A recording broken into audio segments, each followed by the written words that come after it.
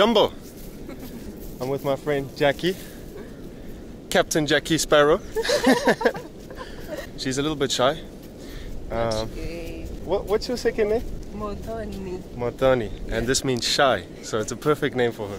Check it out, guys. We are on the beach in Kamanai, right?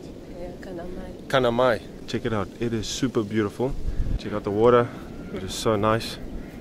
I told you that we're gonna go to the beach while we're here. How can we come to Mombasa and not go to the beach?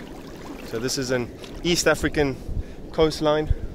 We had to check into like a little resort over here so that we can swim. Had to pay like a thousand shillings, so 500 each, just so that we can swim. Because it is so hot. This Muzungu is gonna burn if he stays in the sun for too long.